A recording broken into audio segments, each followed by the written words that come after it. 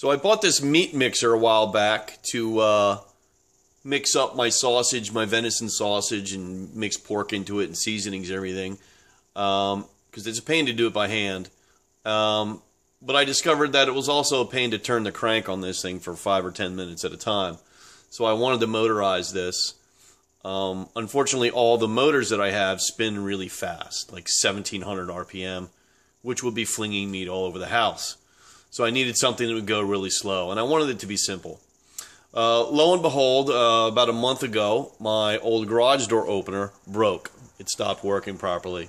And I realized that the drive sprocket on there spins nice and slow.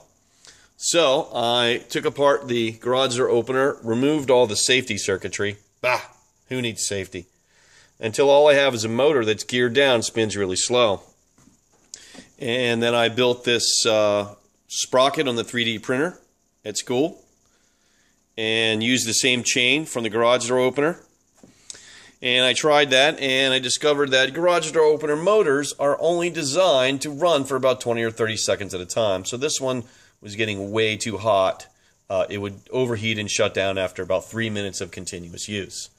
So I added an air cooling system, hooked this up to my air compressor, made a little piece that would fit right on there, and it blows a steady stream of air through the motor, keeping it cool.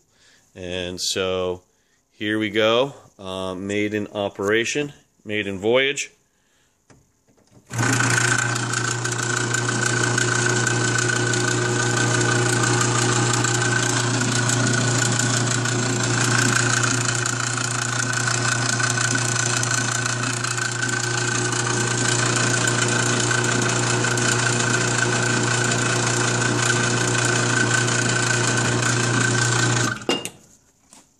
I love it when a plan comes together.